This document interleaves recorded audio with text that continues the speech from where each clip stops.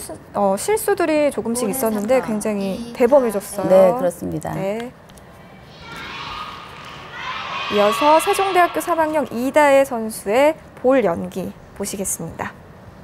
네, 이 선수 역시 우리나라 지금 국가대표 팀의 대들보 역할을 하고 있는 선수죠. 네. 꾸준히 지금 국가대표팀을 잘 지켜내고 있는 언니입니다. 그렇습니다. 지난 인천 아시안 게임에서 빨간색 볼을 들고 이 잊지 말아요라는 음악으로 연기를 네, 펼쳤던 그렇죠. 기억이 나네요. 네. 이다혜 선수가 가장 좋아하는 종목 바로 볼 종목이라고 합니다.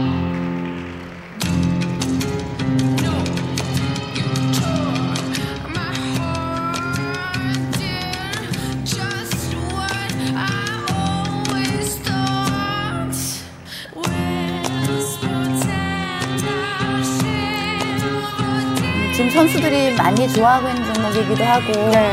관중들 보기에도 굉장히 아름답고 우아한 종목이 볼이잖아요. 네. 선수들이 가사를 사용할 수 있는 종목의 볼을 많이 선택을 하고 있습니다. 네.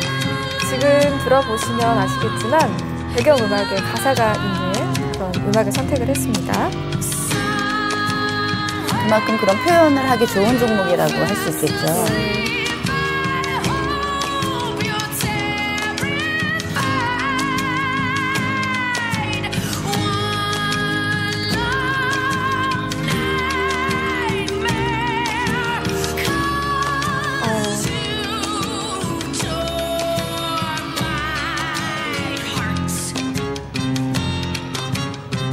메스터리 난도 아주 잘했습니다.